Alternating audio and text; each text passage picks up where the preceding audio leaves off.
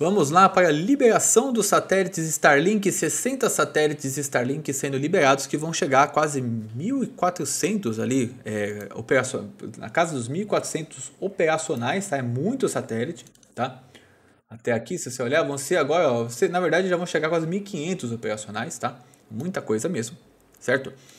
Ah, como funciona? Vamos lá, vamos explicar como funciona esse deploy. Tá? Ah, isso aqui é o que você chama do tal do rato, tá?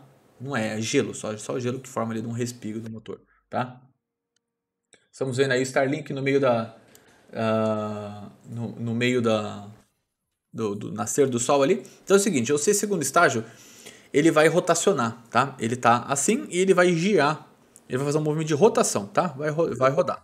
Por que, que ele faz isso? Esses satélites, eles trabalham como se fosse um baralho, tá? Uh, então, cartas de um baralho. Você pegar o baralho e esparramar em cima de uma mesa, ele vai abrir todas as cartas ali, né? Então, é, como esses satélites são todos empilhadinhos, então eles fazem uma rotação, tá? E depois dessa rotação, eles saem com esse, com esse movimento. Quem lembra da física do ensino médio, lembra que se você tiver um movimento circular e você parar de ter um movimento circular, soltar aquilo ali, ele vai sair numa trajetória retilínea e uniforme, hein? certo? Então ele gira e aí ele sai pela tangente. Quando ele sai pela tangente, ele vai reto e ele dá um momento para esses satélites se soltarem, tá? Então é, eles vão se separando aos pouquinhos. Logo no lançamento a gente já vai ver que eles vão se abrindo aos pouquinhos, tá?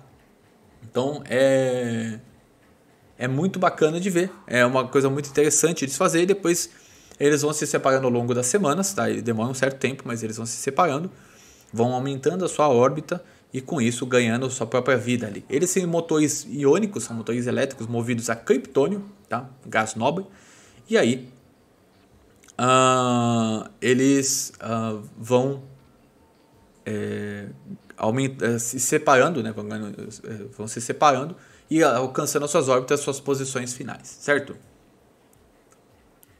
Vamos lá, vamos lá. Falta cerca de um minutinho aí, mais ou menos. É um minutinho para liberação.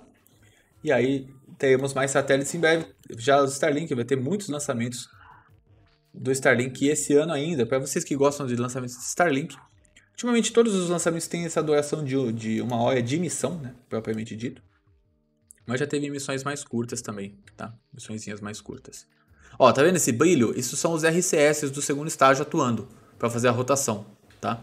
Aí os satélites Starlink, bonitinhos, Ó, tá, tá vendo que essa luz está mudando aqui, ó? Isso é porque está rotacionando o segundo estágio, tá? E aí ele faz esse movimento, ó. Tá vendo que a Terra tá vindo aqui, ó? Ih, trocar, obrigado. Hum, ele está rotacionando, depois que ele rotacionar, ele vai estar tá em posição para liberar. Falta alguns segundinhos só. Isso aí, vamos lá. Aí, ó, muito bom, vai dar para ver bem rotação. Isso aí, vamos lá para o momento da liberação de satélites. Olha lá, vai liberar essa tem uma coluna ali no meio. Aqui, ó, coluna. Vai, tá vendo que tá rotacionando? Tá mudando a sombra porque tá rotacionando.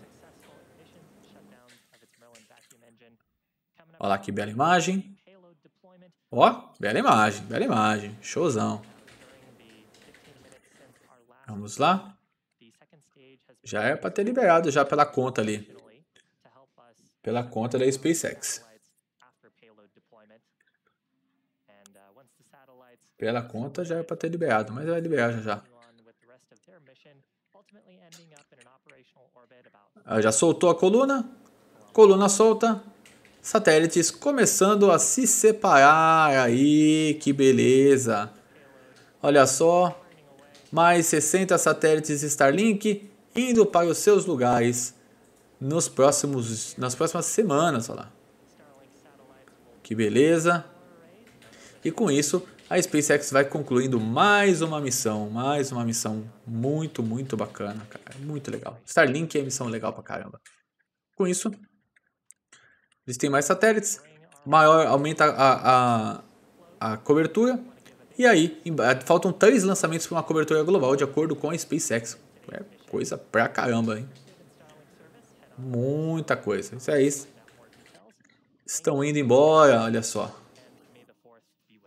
Isso aí, May the Fourth be with you. Muito bom.